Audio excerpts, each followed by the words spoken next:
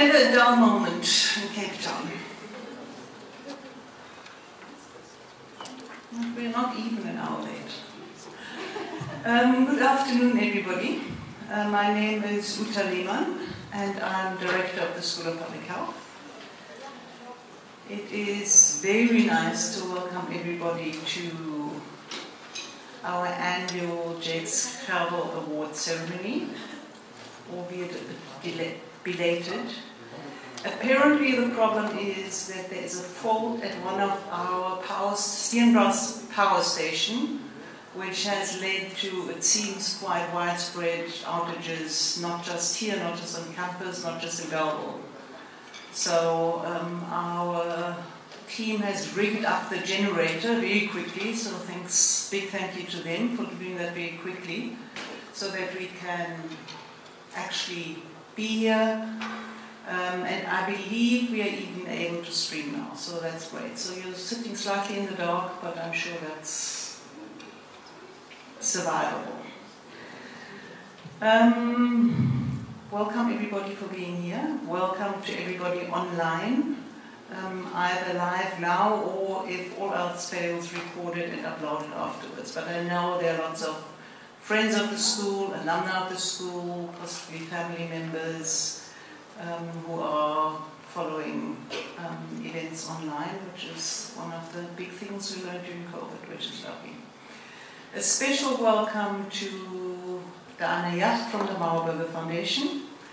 Um, special welcome to the rector. Thanks for coming. Unfortunately, we had hoped that um, Jakes son Hein and his wife Phoebe would be here, but they are not well, so couldn't join us today. So that's a pity.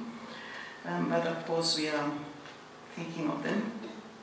And of course, particular welcome to our awardee today, uh, Landry Tsague and his wife. It is really nice to have you here. Um, it is, um, we are delighted to have the Jakes Gerwel Awards every year. Um, I must say I've been thinking about Jakes quite a lot recently um, in the context of what's going on nationally and internationally in terms of whether it's a lack of leadership and, and integrity, um, the sort of climate crisis that now that seems to spin more and more out of control and there is no leadership to actually start taking action. More and more horrendous armed conflicts all over the world and on the continent. And yeah, sort of finding your compass in all of that and not losing hope and not getting paralyzed is something that isn't always easy to do. And I do think a lot about those people like Jakes who in the 1970s and 80s, under of course very different circumstances in the country, um, had to also find their compass, lead, um, figure out what integrity means in this context, stay very, serious that threat and uncertainty in the face, and continue leading. Um, so I've been thinking about what does Jakes' legacy mean in all of that? Um, what does his role and what he did here and widely in the country continue to teach us? How, does, how can it inspire us? Um, and how, how can we, what can we still take from that in terms of not getting paralyzed, being able to take a stand in a way that's meaningful, um, and, and continue the way forward with some sort of hope, um, which I think is really, really important. So the, the, the, the memory of Jakes is always important on this context. It's always particularly important when we have these events, and I think it's particularly significant in the time that we live in at the moment. Let me uh, tell you a little bit, I think you've all seen the programs, but very briefly, um, we'll have a short video that we put together during COVID um, for our, our um, event. Um, then we will have a few reflections from Diana, and, and I've also asked the rector to say a few words since he's got enough to come. Um, then uh, brief address um, virtually from one of the two nominators of this year's awardee. Um, and then uh, Professor Brian van Wyk, who is the other nominator, will read the citation. Um, and then we will hear from the awardee himself. Um, and then we'll do the thanks. So could we have the um, Jakes Gerwel video now? It's about I think, four or five minutes long, so not very long, just reminding us.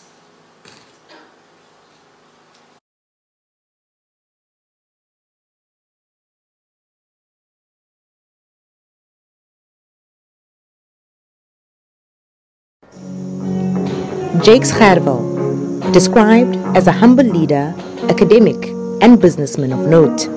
His life was celebrated in a variety of ways, which included art, music, literature, and film. A number of debates and lectures were also held throughout the day. Gerwel is known for leading from the back, but well-known photographer Rashid Lombard managed to capture the late professor in critical moments in the volatile 1980s. Out of the vast archives, I tried to find him in certain places. And as you can see, the, he's there, but the caption is about the moment in time. And I think it's so important that these moments only come once. And if it's not captured, it's gone. Uh, that's why I always tell people, use your camera and capture a moment in time, be it of children or family.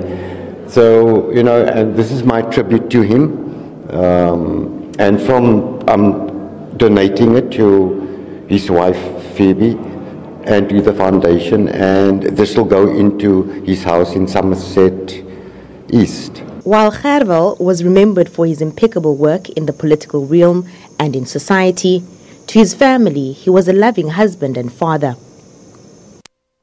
As my relationship with him, um, our greatest bond was just being able to talk about what was going on in the world and to share life in, in the context of cricket. I mean, that was the one bond that we shared for most of our lives.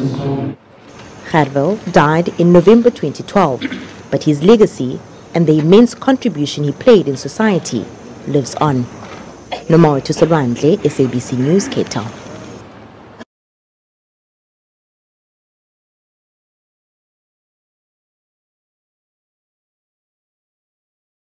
Op 5 Junie 1987 word hy die rektor en fisiekanselier van die Universiteit van die Wes-Kaap.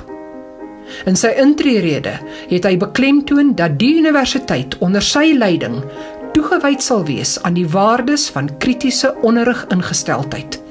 Indien teenstand hierteen polities of ideologies van aard is, sal hy dit as opvoeder en administrateur met sy volle hart teenstaan. Die UWK sou 'n leier in die stryd word teen apartheid. Sy grootste bydrae tot die transformasie van Suid-Afrika was die jare wat hy aan UWK was. Dis waar die groot of uh, rol wat hy gespeel het was daar want dit was die begin in uh, van 'n uh, proses waarin die universiteit 'n uh, beslissende rol tot 'n groot mate 'n beslissende rol gespeel het in die uh, die veranderinge wat in Suid-Afrika plaasgevind het. En daarin was het hy 'n baie fundamentele rol gespeel. UWK as etniese universiteit het 'n ander rigting ingeslaan as wat die owerhede daardie tyd vir die universiteit in gedagte gehad het.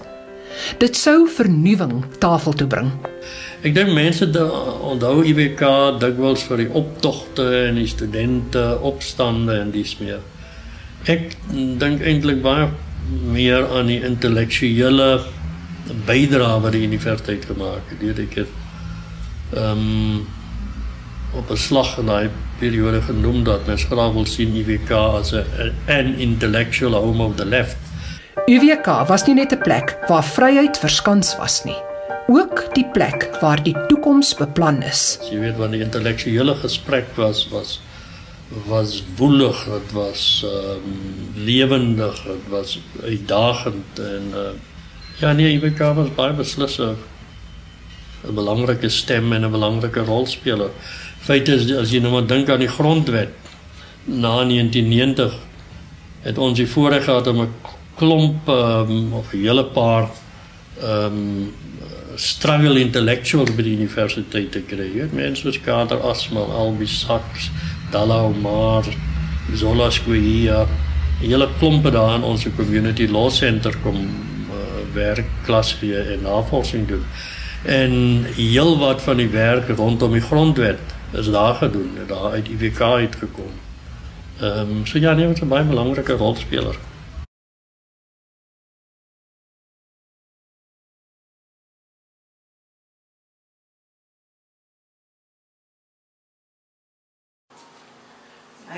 We need a lot more again of these fierce and lively debates. They were what brought me here initially, and actually have kept me here for a very, long time.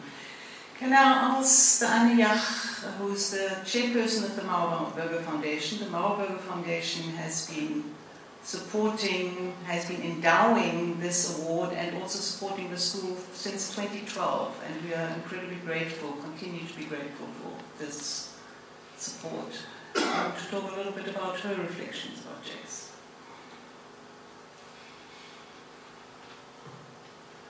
Good afternoon, everyone. Um, I'm really, really pleased to be here with, I was going to say old comrades, but um, making new friends as well, um, and always uh, meeting exciting individuals, all of whom are dedicated to making a difference in this world. So thank you very much for asking me to say a few words. Um, I think Uta has said that um, Jake's lived through different times to what we're going through today. But we are faced very much with weak leadership, wars, displaced populations, rampant populism, unbridled capitalism, and the ominous shadow climate change. All of these loom large. And we find ourselves yearning for the wisdom and courage of leaders who faced adversity with unwavering moral strength. And one of these people was Jakes Gerwel, whose legacy serves as a guiding light in our tumultuous present.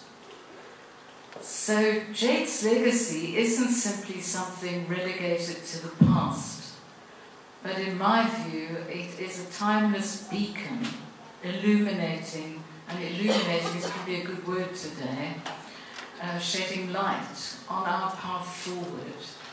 In the face of crises, he exhibited unparalleled courage and moral fortitude his teachings resonate with us today, in particular, his lessons that he's left us about leadership and humanity.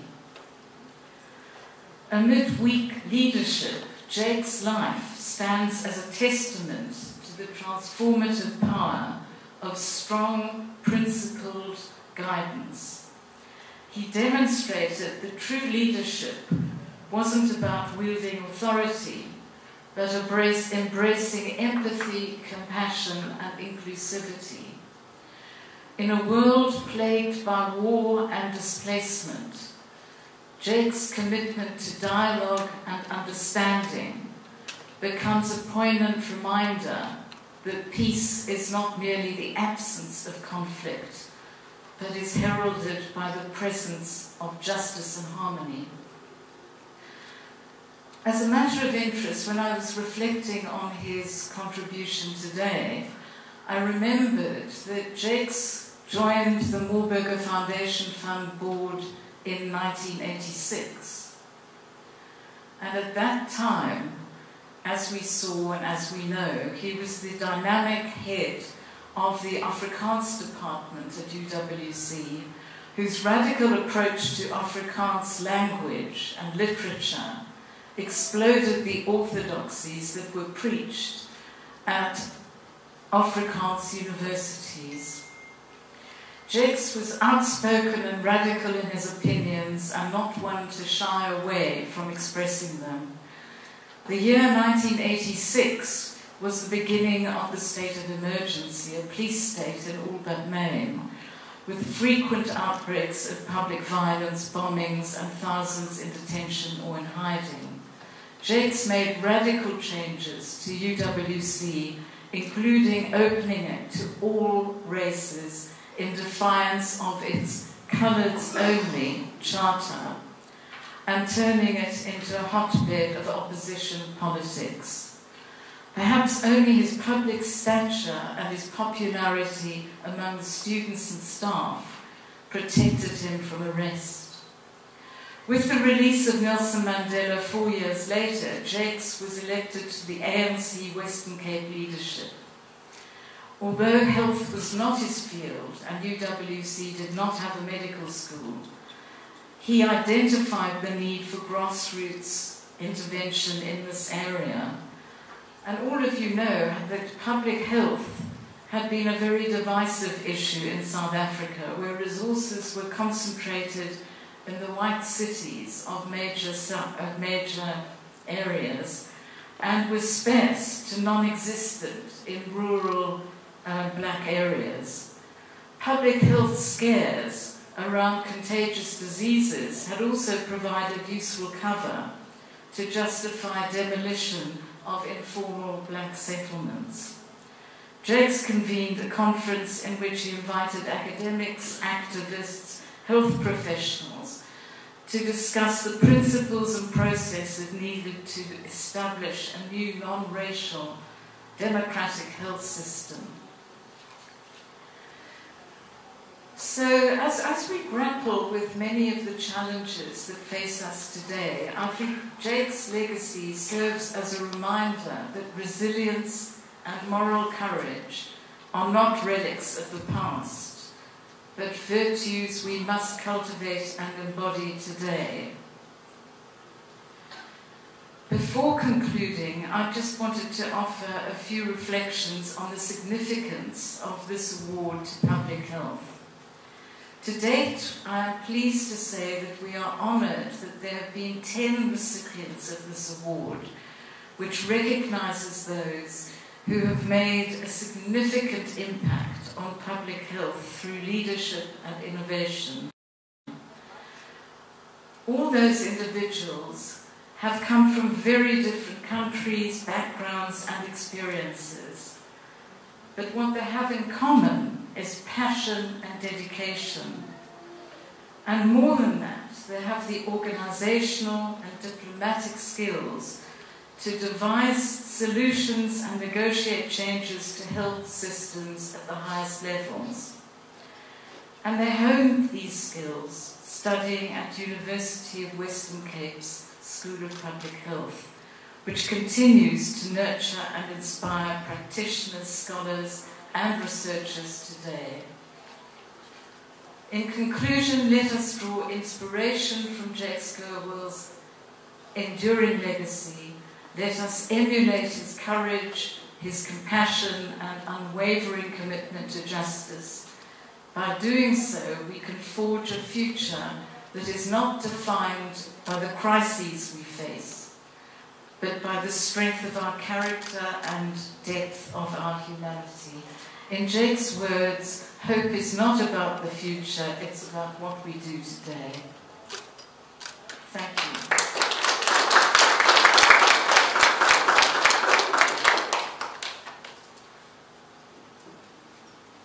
Diana. Those are really, really inspiring and appropriate words.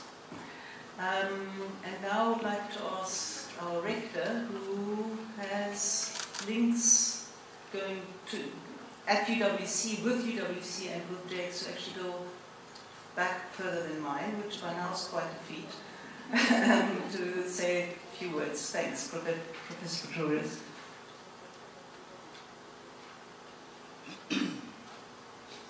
Thank you, Prof. Lehmann. I was ambushed. I thought I could sneak in, just listen to the lecture and think a little bit about Jakes while uh, listening to the, uh, to the lecture, but uh, unfortunately Prof. Lehmann spotted me and decided that I must speak to you unprepared.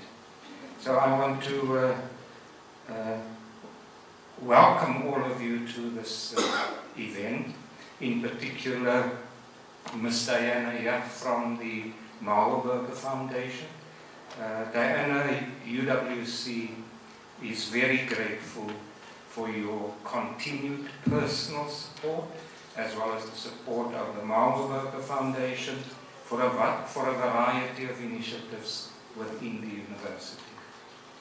Also to welcome the latest recipient of the Jakes Gerwel Award, Dr. Landry Dongmo.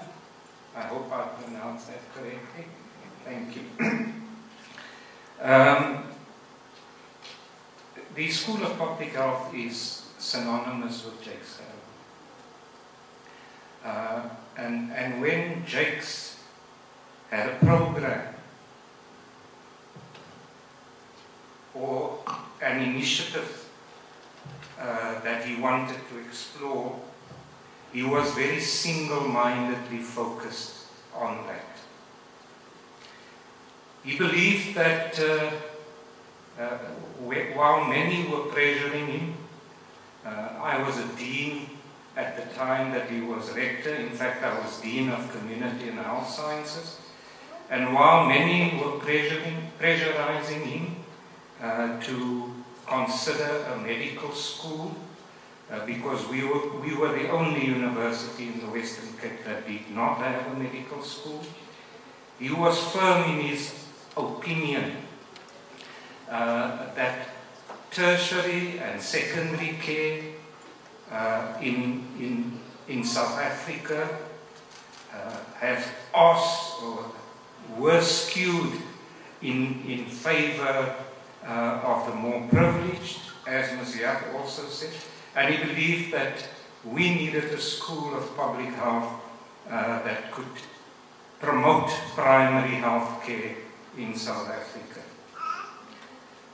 Now, Jakes had a very different idea of what the School of Public Health was going to look like.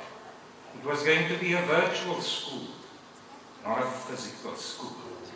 It was going to be virtual and it was going to draw on already existing healthcare professionals in the other departments. The virtual school would have a director but no staff. Because the staff would be the existing staff in the other healthcare departments. I wonder what Jakes would say about public health now and what it has become and what it has achieved. Despite these many honors, and despite the standing that he enjoys in South African society, Jakes was a very, very humble person. You could immediately pick that up from the video. He never speaks about his role. He gives all the credit to UWC. I remember when, when Monash University uh, in Australia uh, honored him with an honorary doctorate. A few months after that, uh, he was in, he was going to deliver a lecture, and um, the MC introduced him and then mentioned that uh, uh, Prof. Gerwel just received an honorary doctorate from from um, Monash University. And he was very dismissive about it. When he came to the podium, he said, do you know I have a real doctorate as well, not just the, the honorary doctorate.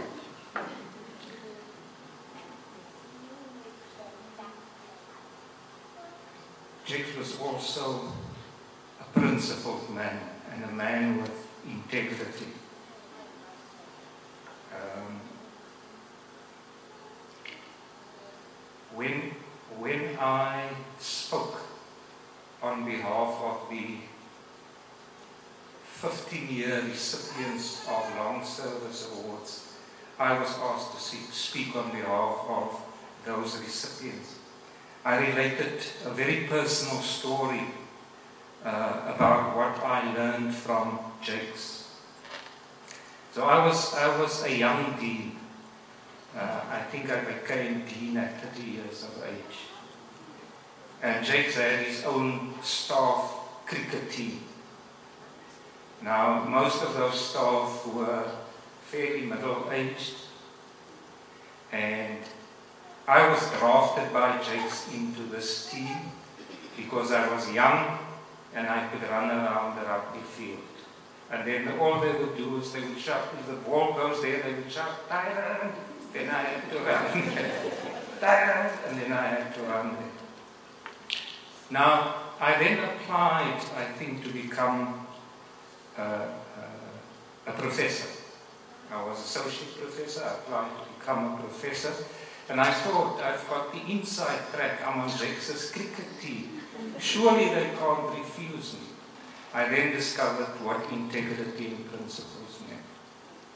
Even though Jakes chaired the, the appointments committee, I didn't get it. And afterwards, he gave me feedback, which the chair, chair of the appointments committee is supposed to do. He gave me feedback on why I didn't get it. And it had nothing to do with cricket, and it had everything to do with where my shortcomings was. I try in many ways uh, to take personal lessons uh, from Jakes. Uh, he used to invite me for, for Friday night red wine sessions. Where we would talk, we would talk about everything and not about UWC. And from him I learned the importance of work-life balance. This, this job can be quite consuming unless you draw boundaries and unless you maintain a healthy balance between work and between life. I could probably go on and on to share the personal lessons that I've learned from Jakes. But this, I'd like to close by saying that the foundations of this university and its achievements um, up to now, those foundations were laid by Jakes Gerwel. What we are today as a university is because of Jakes Gerwel. What we are today as a nation is because of the absence of the Jakes Gerwels of this world. Thank you.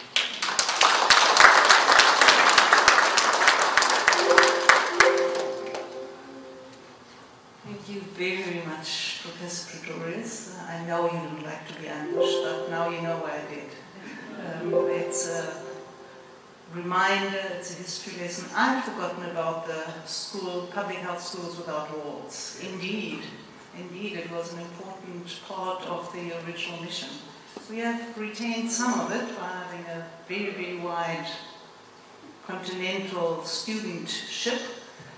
But yeah, we have these walls, and I would love to tear some of them down and open things up. But yeah, it's life happens, and history happens and changes.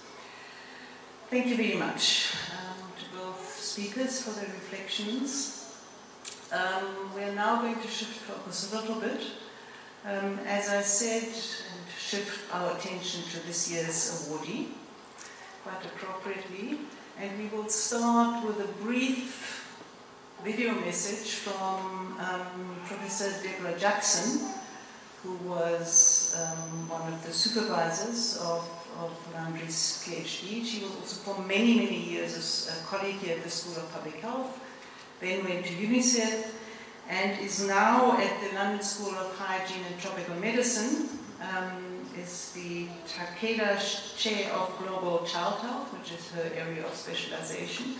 But while doing all of that, she's also retained her link with the school. She's always supervised students, even when she had left. Um, she comes back regularly. Um, so it's, a, it's wonderful to have her connected, and she has an incredible has made and, continues to do, make an incredible contribution to the school. So brief input from her. Thank you. Dear UWC colleagues and friends, I am so excited to be here today to celebrate Dr. Landry Tsague and Professor Jake Gerwel. I am sorry I could not be there in person. I supervised Landry's PhD at University of the Western Cape, We first met working on the evaluation of the prevention of mother to child transmission program in Rwanda. From that work, Landry completed his PhD research on the PMTCT cascades, which were instrumental in monitoring PMTCT programs for protecting infants uh, across Africa from HIV. Landry has gone on to be an HIV and public health expert, taking his experience and insight across Africa, as you will see in his lecture. As professor and Takeda Chair in Global Child Health at London School of Hygiene and Tropical Medicine, and co director of the Center for Maternal, Adolescent, Reproductive, and Child Health, I've, I have proudly maintained my affiliation with the University of the Western Cape School of Public Health. LSHTM has strong ties with the SOPH. This week, I had dinner with colleagues and a PhD student from UWC here in London as they were collaborating with LSHTM colleagues on a joint maternal Health Quality of Care project in rural KwaZulu Natal. Prof. Gerwel was an author, teacher, leading intellectual, member of the ANC, and director general in the presidential office of Nelson Mandela. He was a thought leader for a new Africa, and Landry exemplifies the spirit as he supports the Africa Center for Disease Control, which since 2017 is leading the way for protecting and promoting the health of all Africans. In reading his bio, I noted Prof. Gerwel's successful negotiation with Libya to release the suspects of the bombing of the Lockerbie Pan Am Airways flight on behalf of Nelson Mandela, in an effort to promote peace and healing in the face of tragedy. I am hopeful for new leaders like Prof. Gerwel and Nelson Mandela and Bishop Tutu, former chancellor of UWC, to emerge from Africa to lead us in promoting peace and human rights across Africa and the world. I am proud to know Dr. Tsague and celebrate the University of the Western Cape in the proud history of Professor Jake Gerwel.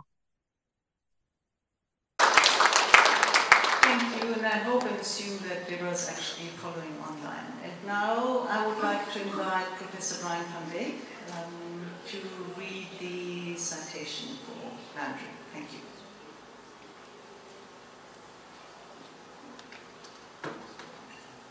Good afternoon, colleagues. Um, it's my privilege to read the citation for Landry Tsague.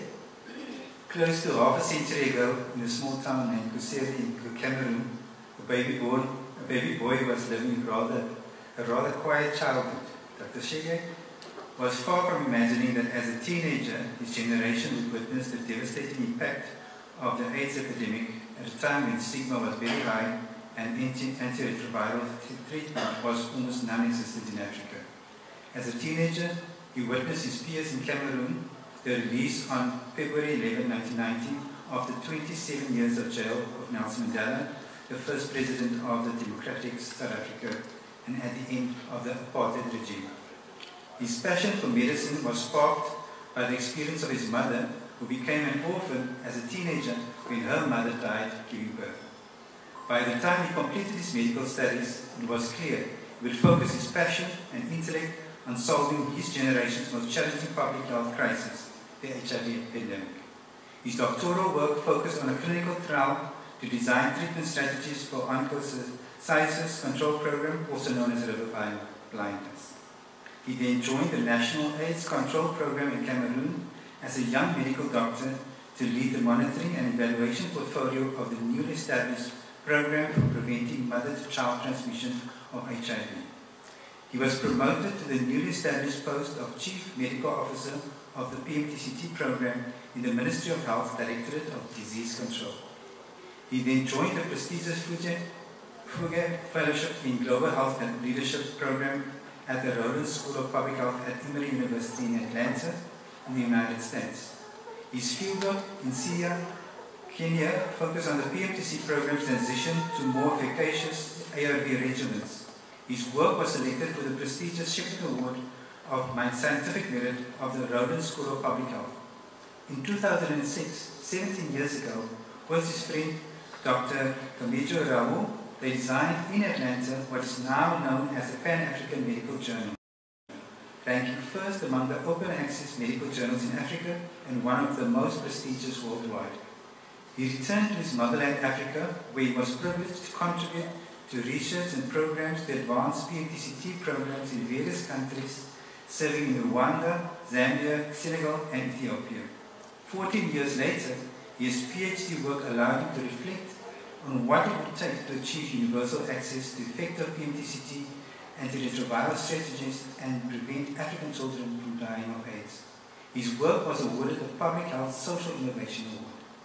Following his PhD work, Dr. Tsague continued to advocate for universal access to lifelong antiretroviral strategies in, in Africa as part of a comprehensive approach to accelerate the elimination of new infections in children and ending pediatric AIDS.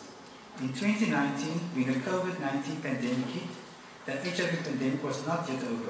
The COVID-19 pandemic uncovered the fragility of the health systems. It exacerbated glaring inequalities between Africa and the rest of the world in accessing COVID-19 diagnostics, vaccines, therapeutics, and other essential medical goods.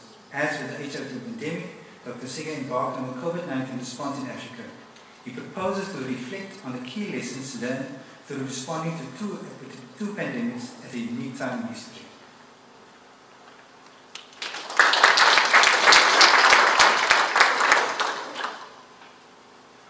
Jakes may have, may have had an issue with the walls. I'm sure he would be very, very proud of all the alumni that, and this alumni in particular. Thanks a lot, Brian. I'm going to ask you to now come and hand over the award certificate to Dr. Swadia?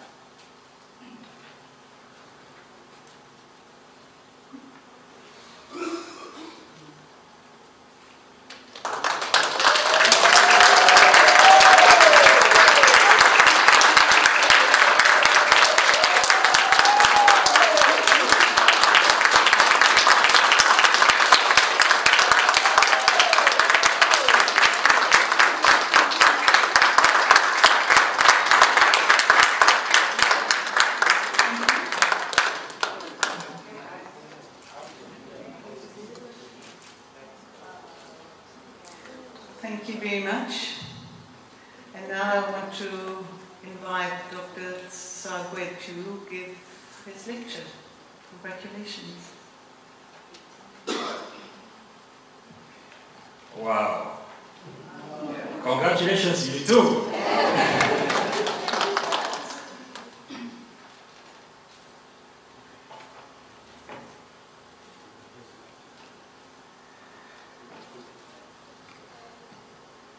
Okay.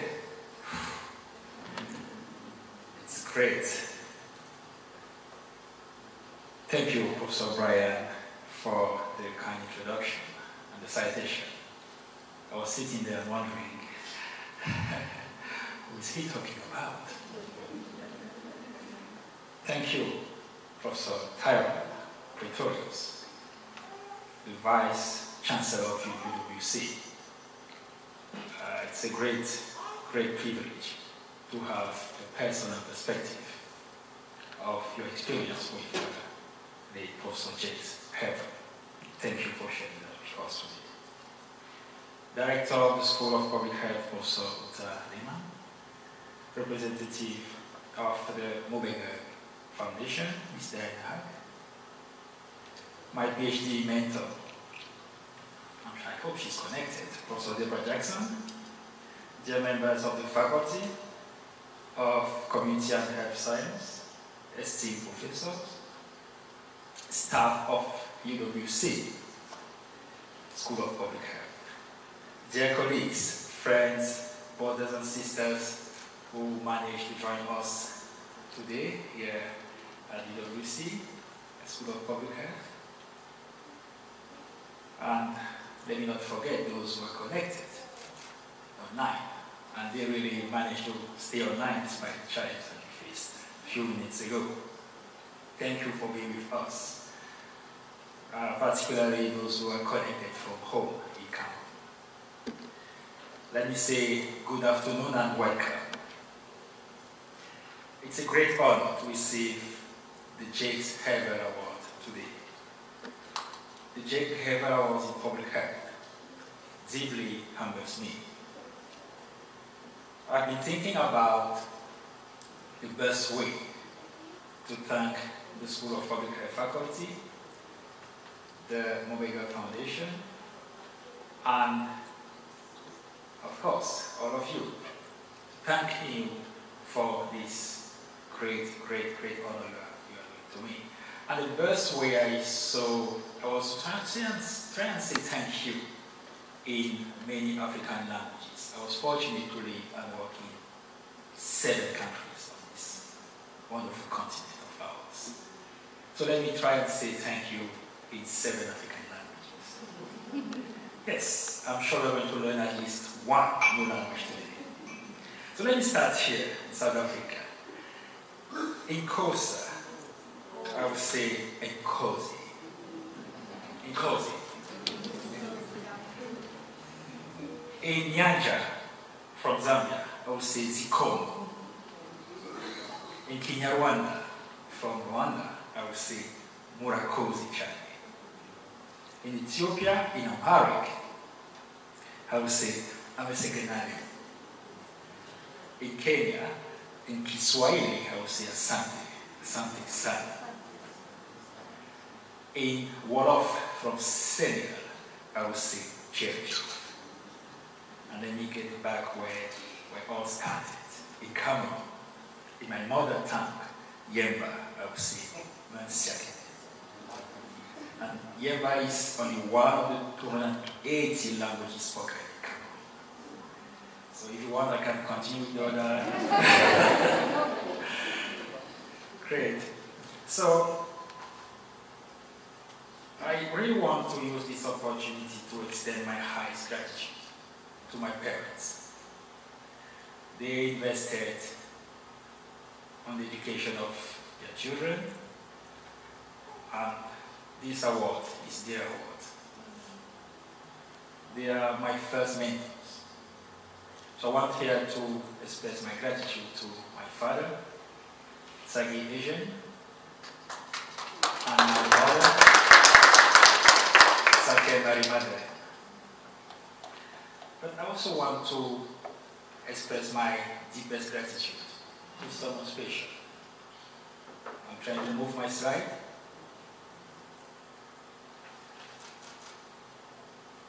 The next slide. Great. Someone special called my grandmother, the matriarch, Mezamo Pauline.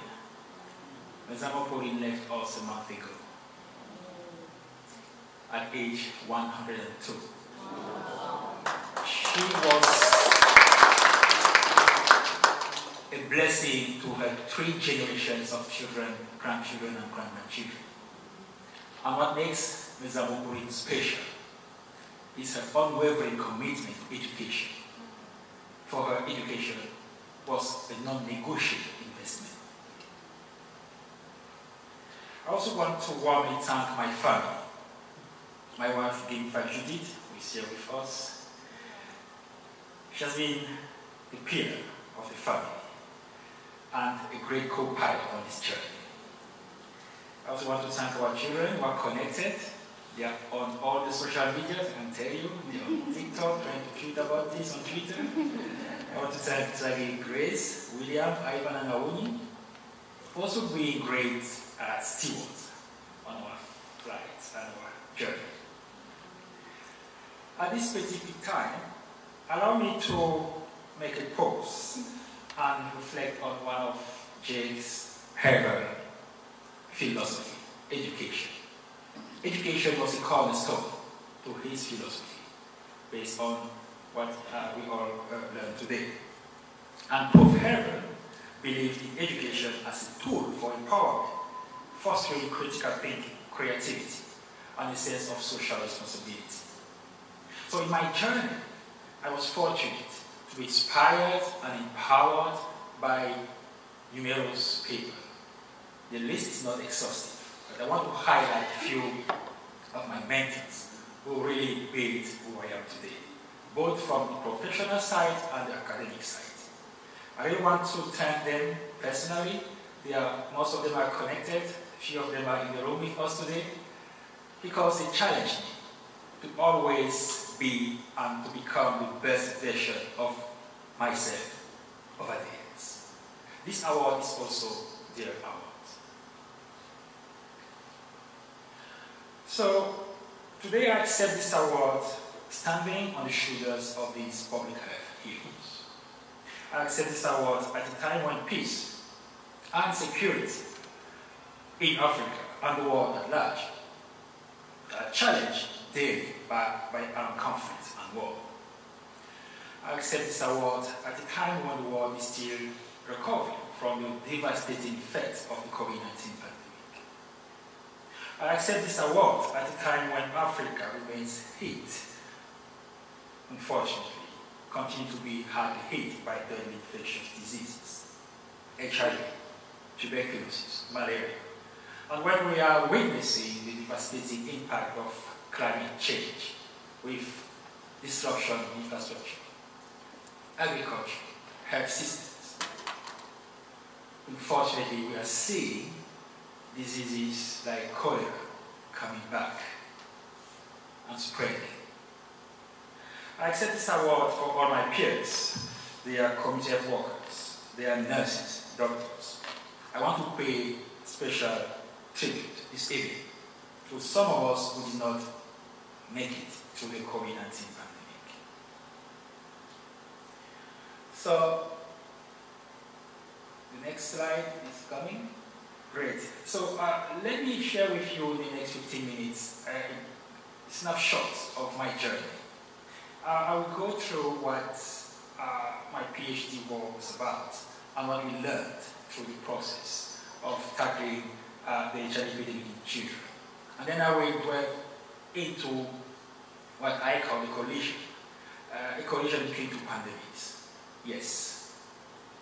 Our generation of public practitioners experienced an unprecedented time in the history of humanity, the collision of two pandemics, COVID-19 and HIV. I'm going to share with you some of the lessons that we've all learned and how those lessons are shaping the future of public health in Africa. So the next slide. Great. So uh, my PhD work focused on improving access to efficacious treatment or strategies to reduce the transmission of HIV from parents to their children. And we did that with Professor Deborah Jackson as one of my uh, supervisor, Professor Liam Babaje, Professor Dorothy Mbori-Ngacha, working under the leadership of uh, the Rwandan Ministry of Health.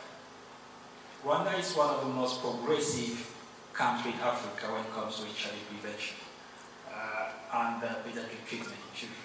Uh, and what I want to highlight here is that uh, at the time of my PhD, we were still discussing about whether antiretroviral treatment for pregnant and breastfeeding mothers was a feasible strategy in Africa. Rwanda was one of the first countries to not only shift toward a strategy, but also to accelerate the rollout up to uh, the primary health care level.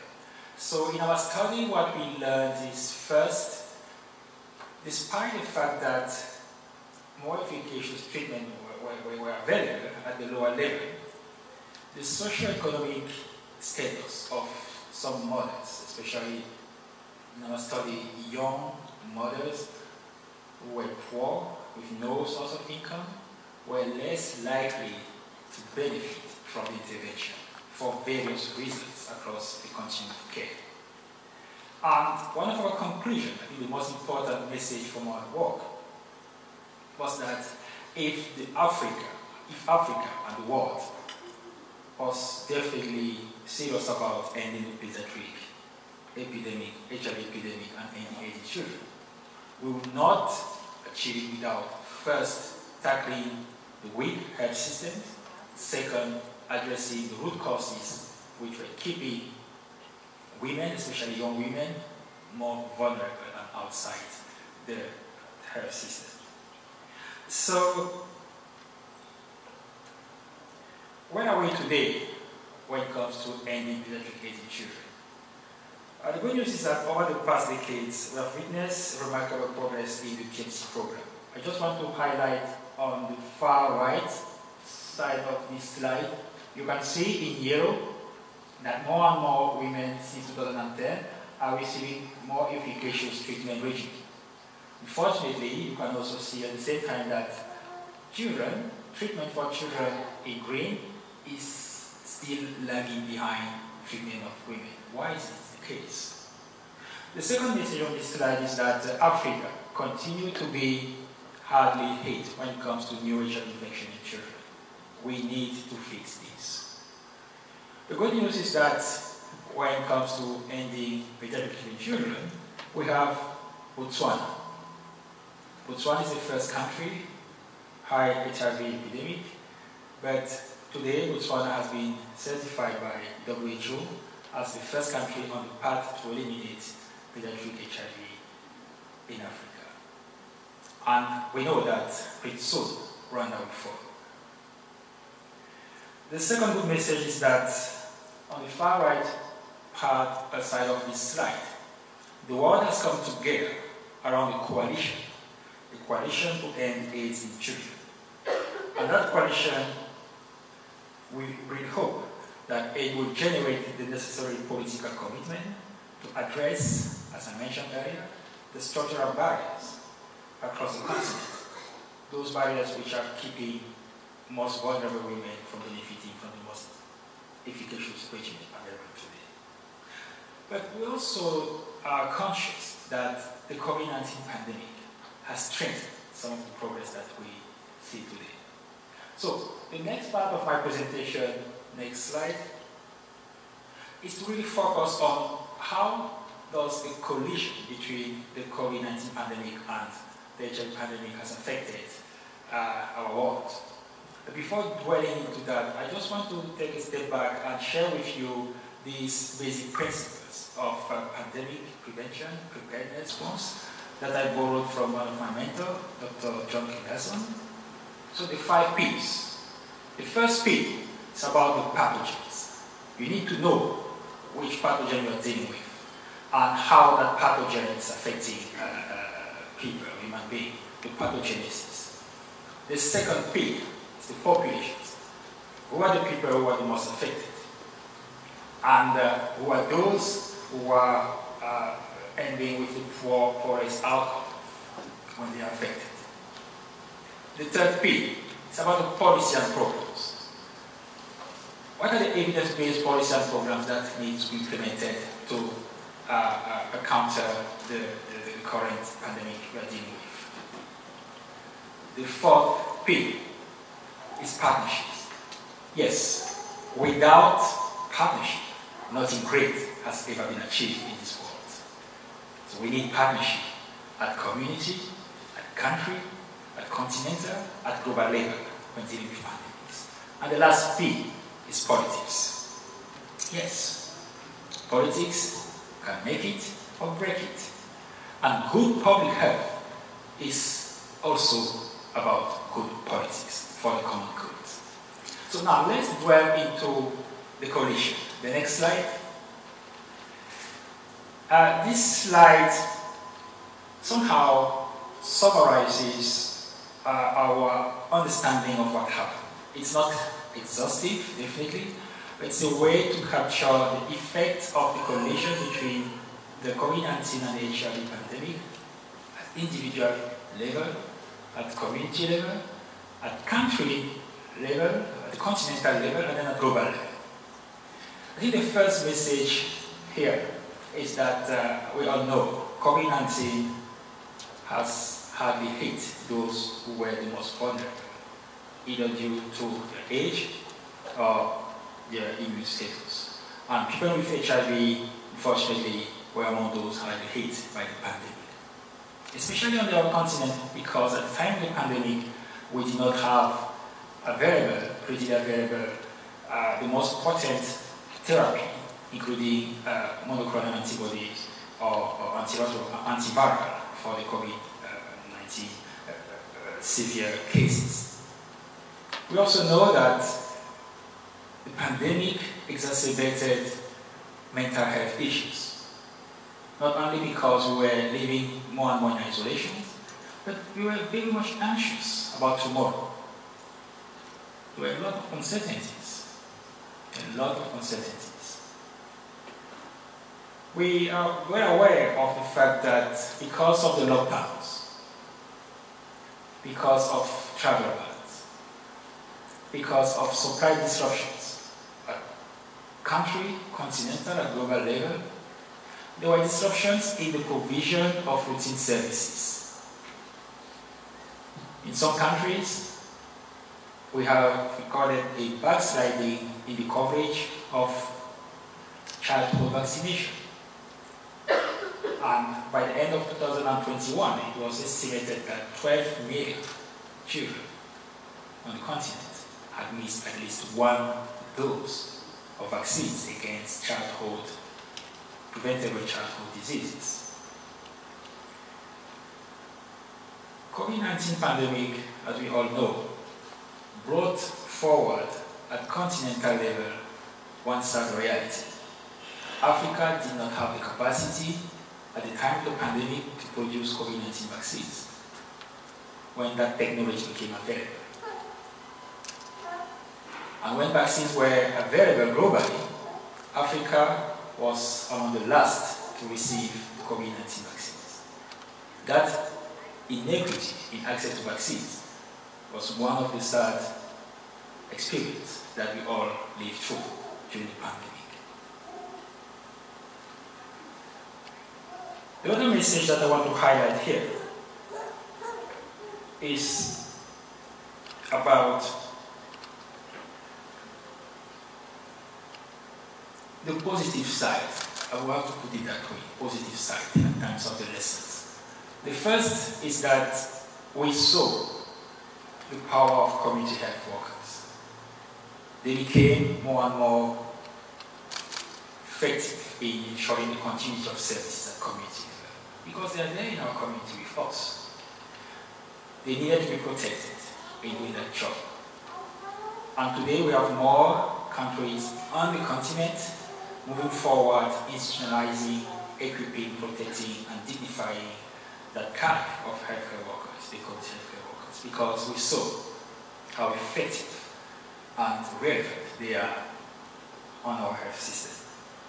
The second reality is that uh, in Africa, we invested during the pandemic in strengthening our laboratory systems.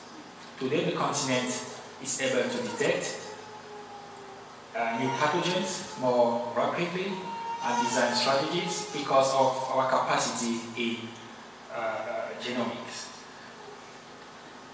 The third point is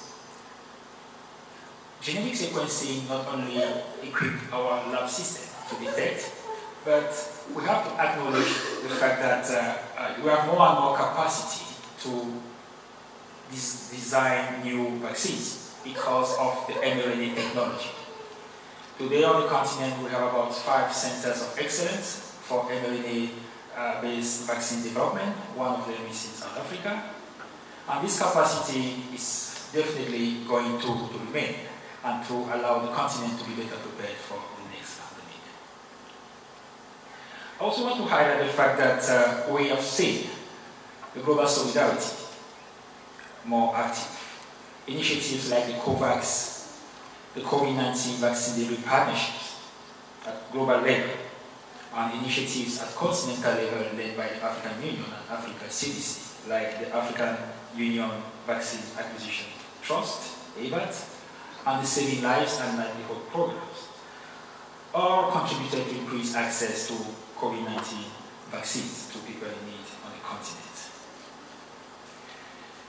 So the collision at global level uncovered the challenges in the global architecture. And when addressing global health crisis, we all understood that we needed to fix things. And this has led to what's going on now at global level around the, the amendment of the international health regulations on the one hand, and on the other hand, on what the WHO has uh, proposed as the pandemic treaty or pandemic accord, which is undergoing negotiations. So, the COVID-19 and HIV collision has had, as, as I, I just described, far-reaching impacts on individuals, communities, countries, the continent of Africa and the world. So how do we move forward? My next slide. So let me make a pause here and highlight Africa CDC, the Africa Centers for Disease Control, which was established by the African head of state in 2017 as an autonomous institution of the African Union in charge of the health security of the continent. So Africa CDC is definitely going to play a key role moving forward, has played a key role during the COVID-19 pandemic, and will play a more important role moving, much more important role moving forward. The vision that was established by Africa CDC is that Africa needs a new public health order.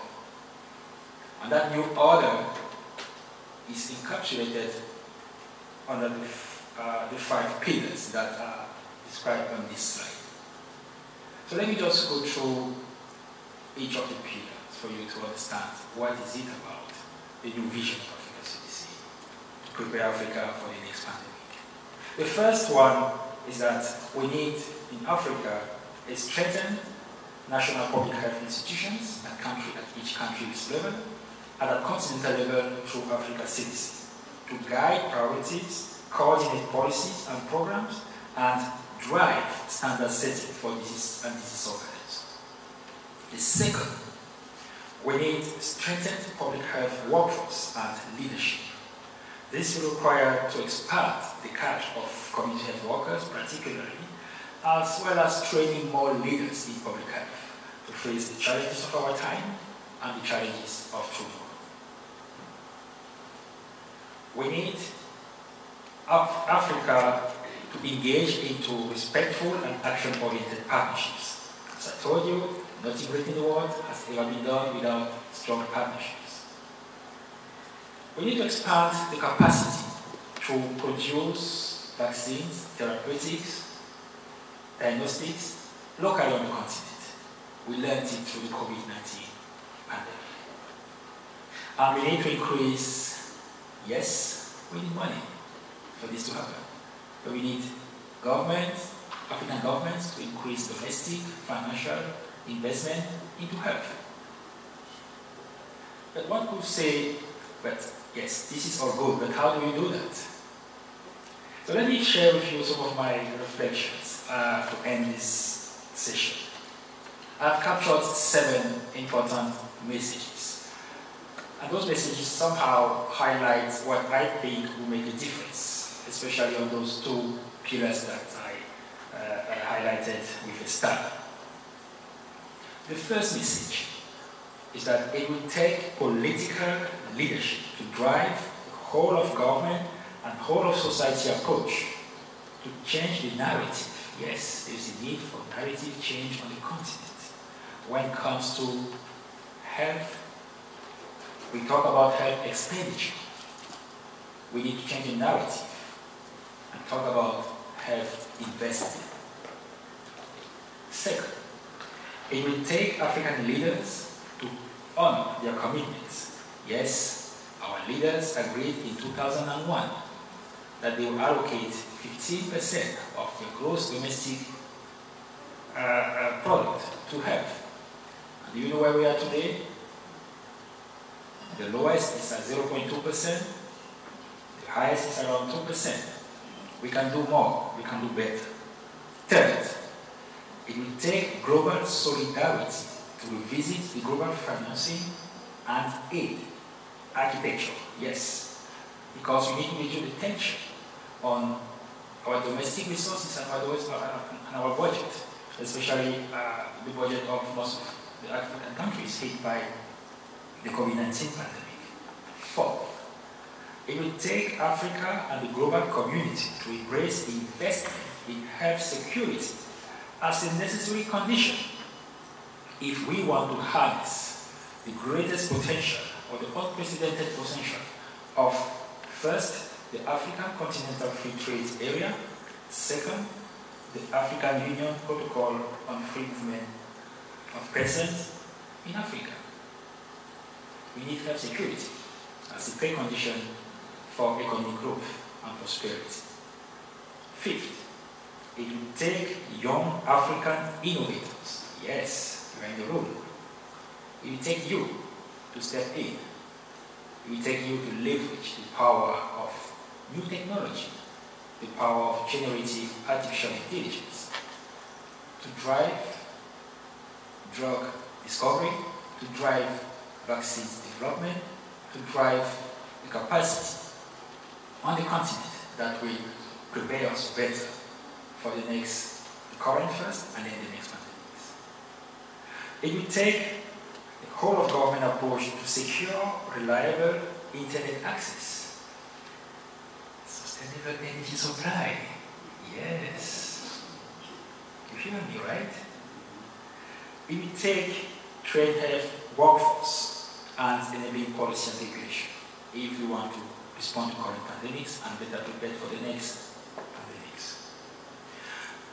Finally, the seventh last message that I have is that it will take a renewed global cooperation that upholds the values of multilateralism to foster the Africa CDC's vision that I shared with you. It will lastly call on all of us. Next. It will call on all of us to embrace the Ubuntu philosophy. This philosophy was dear to Professor Jakes Gerwel and President Nelson Mandela. This philosophy says, I am because we are. I am because we are. The Ubuntu philosophy epitomizes the belief that our well-being is interconnected with others' well-being.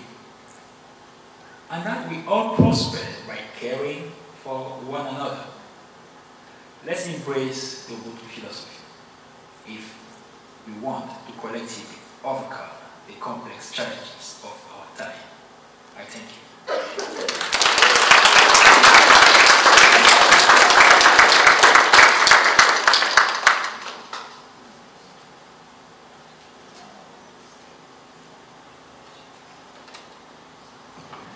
Thank you much for an inspiring and informative and wonderful address and lecture.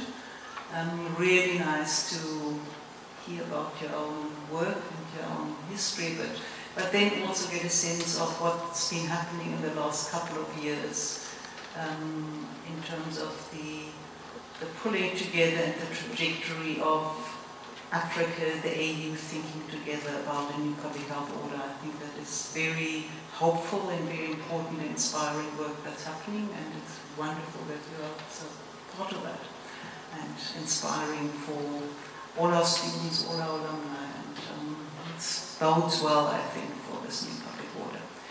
I'm wondering whether there are a couple of um, questions or contributions that people want to make.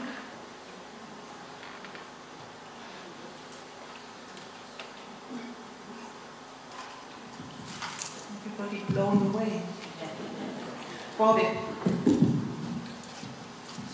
I just wanted to say congratulations to uh, Landry uh, for this much deserved uh, award. Uh. Sorry about that. Uh, so, uh, a quick question uh, on what you presented to the, the African CDC perspective and how to bring about change in the continent. And my question relates to the issue of increasing domestic uh, financial investment for, for Africa, for health. Uh, and having worked in several African countries with governments uh, and also international agencies, I just want to ask where you think is the problem or what your insight is as to what the issues are. Because on the one hand, you have uh, a situation where countries do not have uh, resources uh, to invest in health. On the other hand, it's the issue of prioritization. So we'd like to hear your thoughts uh, on what you think is the underlying problem in that regard. Thank you.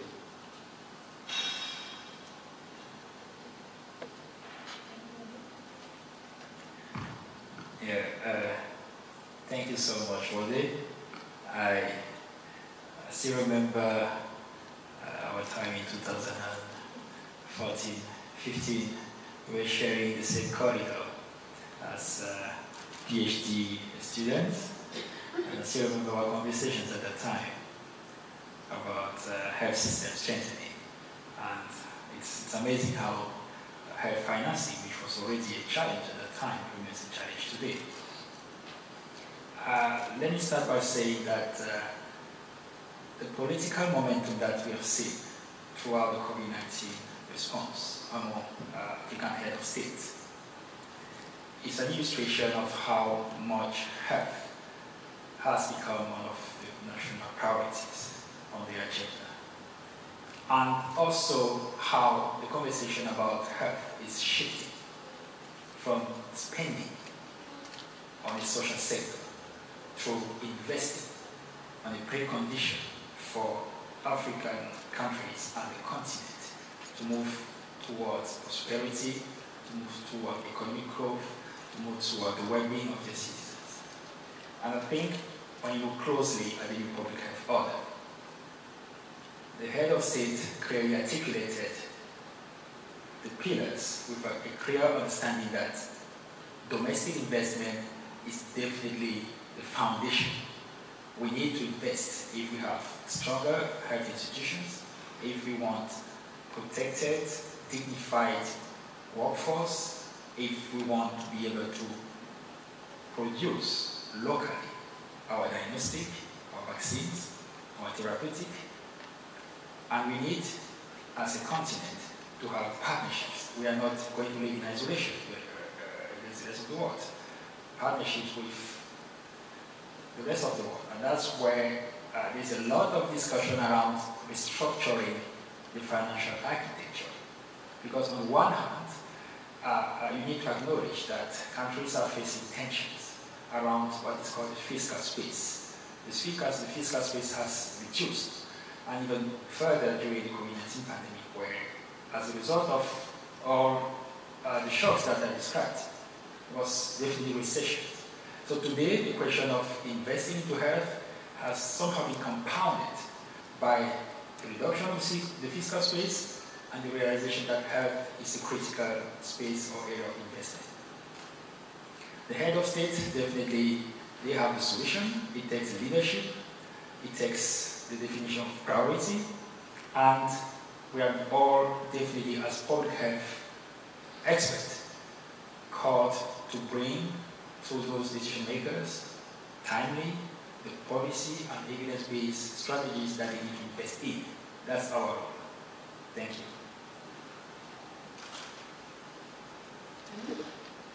Um,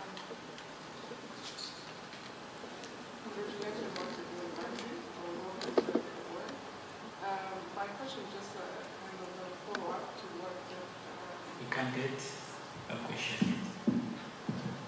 Can you hear me? Yes. Great. Congratulations once again for the well-deserved uh, award.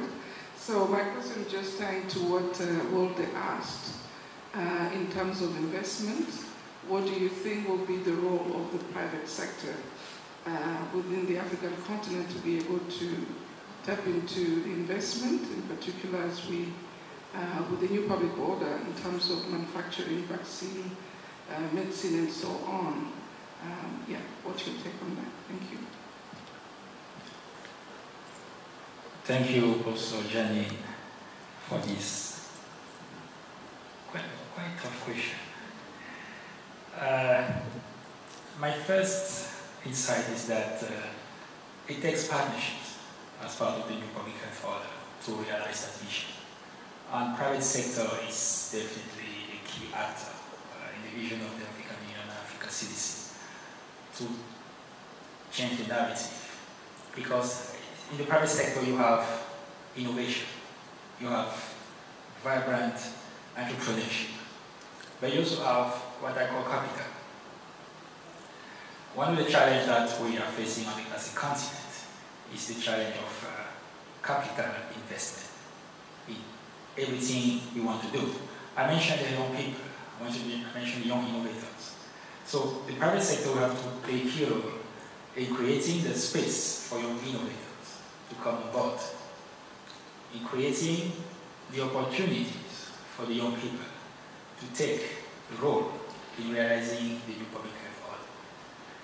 The private sector will have a role to play with the university because we need the university to champion each of the five pillars. Yes, governments alone will not make it, communities alone will not make it. I think I was just reflecting again at the time when Professor uh, uh, was talking about his time with Professor Jakes Gerwel. If Professor Jakes was here today, how would he approach our challenges? How would we convince the head of state to invest into health? How would we bring the private sector to play their role? I think it's going to be about us, public health professionals, to get out, to go and speak up today. Because sometimes it takes a conversation to change the world. Thank you.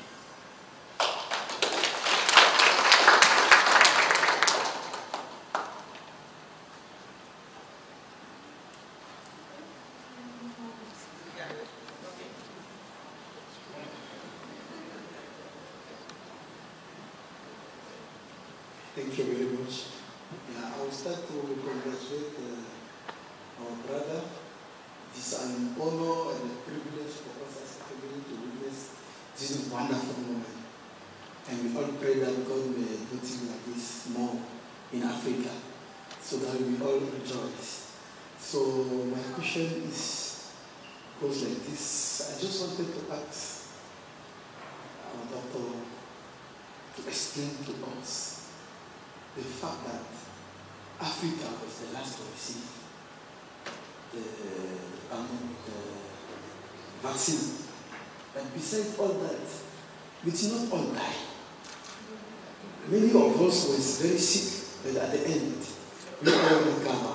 So I just want to know what can explain that. You know, because still that's the question that to my mind every time. Because I always ask what happened really because um, I don't know how to explain that.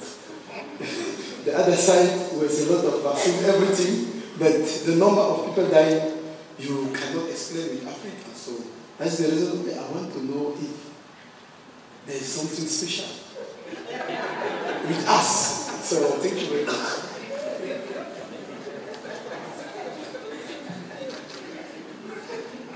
Yes, and thank you very much, my brother Sangu, for this very, very honest question.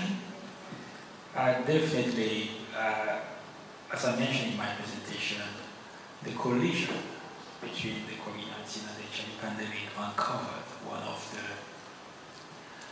uh, inequalities that was not only a policy, an ethical and moral issue. We all needed vaccines at some point. Vaccines were not produced in Africa. Vaccines were produced in developed countries. And we all witnessed what was described as vaccine nationalism. Some countries holding vaccine doses and ensuring that all the population were covered first before they were shifted or shared with the rest of the world. I also mentioned that luckily the global solidarity came together on initiatives like the COVAX, the COVID-19 vaccine delivery partnerships at global level. I mentioned that the continent did not stay without doing anything. The head of state the African Union Africa CDC, they came together to establish a continental response to the COVID-19 pandemic, including the five Ps. Remember the five Ps? They were all applied in what became the blueprint for the continent to overcome the COVID-19 pandemic.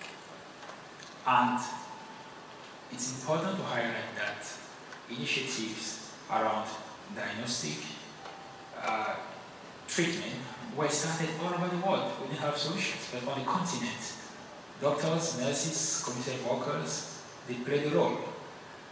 And we cannot underestimate their contribution in reducing the worst outcome for the African people. They played a role. We also have to acknowledge that on our continent, many people died. Yes, we lost friends, brothers, family members, colleagues. So the pandemic hardly hit Africa. We cannot underestimate what we went through as a continent. The question that we have now, Sam, just to reflect on that important point we made, is are we going to be better prepared when the next collision happens? I don't want to say the next pandemic hits because we haven't fixed the HIV pandemic, right? We haven't fixed it. We saw that side. When the next collision happens, are we going to be better prepared, Sandro? That's the question that we are trying to answer. Thank you. I think that is an important question and to, to end on. Um, so thank you very much. Um, I'm now going to, oh yes,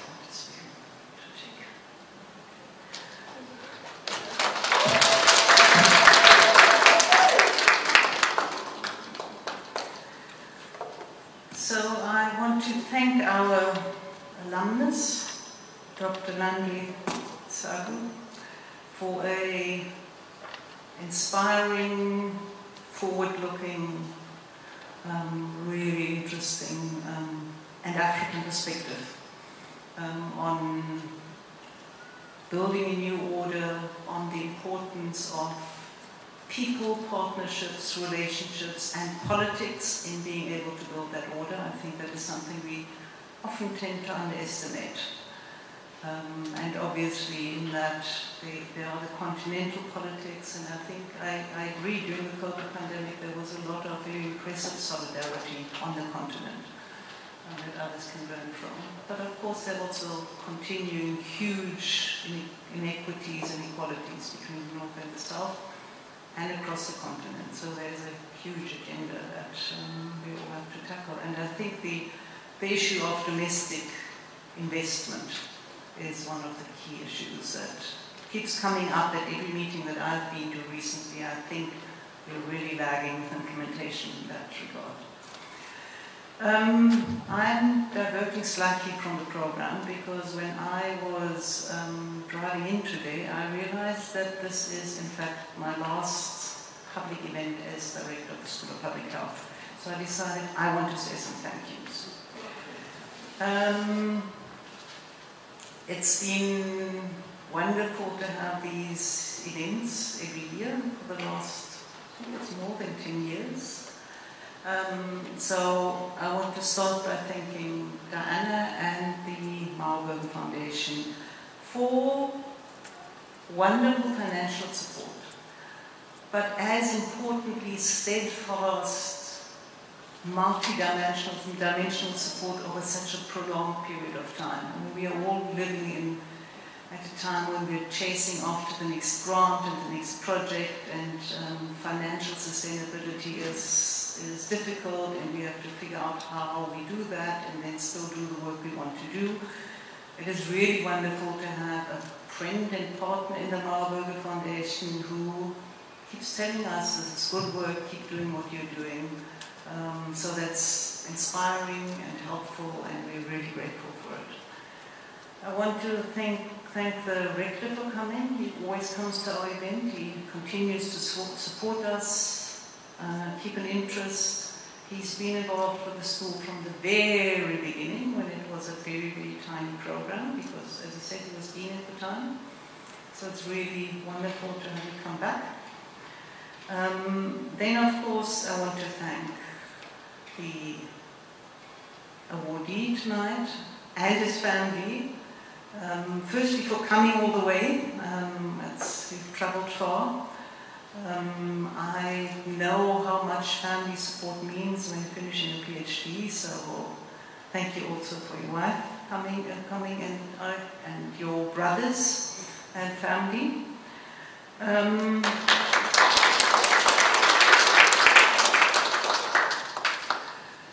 then I want to thank all our wonderful students and alumni.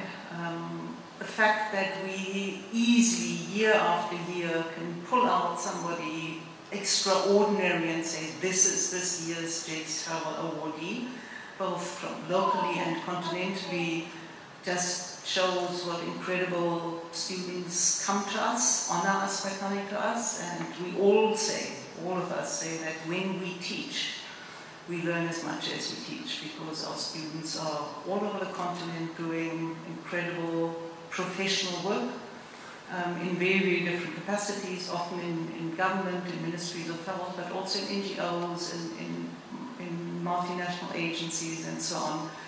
And to have that connection is, is very remarkable. And we are doing quite a lot of work at the moment, behind the scenes at the moment, to build the alumni network. So hopefully we will be able to connect people better together and also to connect the school and university better with, with all our alumni. There are about a thousand by now, so it's, it's quite impressive. And then, of course, I want to thank our team who makes always makes these events um, run smoothly. I don't have. It is just about saying we will have the event. This is the awardee. These are the nominators, and then the team that's consisting of many people makes sure that the venue is set up, the electricity and the Wi-Fi and the, and the um, streaming works, unless Eskom has other plans, um, that we have wonderful catering. And that team is led by Tamlin Peterson, who's sitting right at the back, and uh, many of you know her. And of course, together with many others, there's Yanda, who always makes sure that we are making our um, that, that our connectivity works. There's Mtombomzi Guzani who helps out everywhere. She's, I think her official title is receptionist. Nothing could be further from the truth. She does so many more things than that. And of course, Kanita Ernest, who is our project's senior project coordinator, who holds everything together. Um, so it's an amazing team that makes this school work. Um, I'm deeply grateful to all of them. And then lastly, I want to introduce to you uh, Professor Olagoke Akintola, who will be director of the School of Public Health from the 1st of January next year. So Olagoke, will you please stand up and come forward?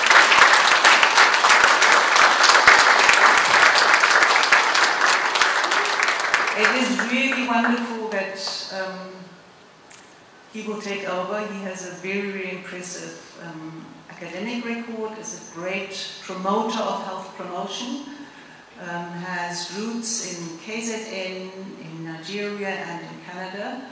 Um, has been with us now for three years, and it's wonderful that he wanted to come to us. I remember very vividly when we advertised the post, and Helen and I looked through, through the CVs, uh, the people that applied, and said, hang on, we both know this man. How come he wants to apply? So it's, yeah, we are very lucky to have him here. Um, he will be a great director, uh, take the school forward. It's an urgent time for new thinking. Um, and um, yeah, I wish you luck in all of that. Thank you.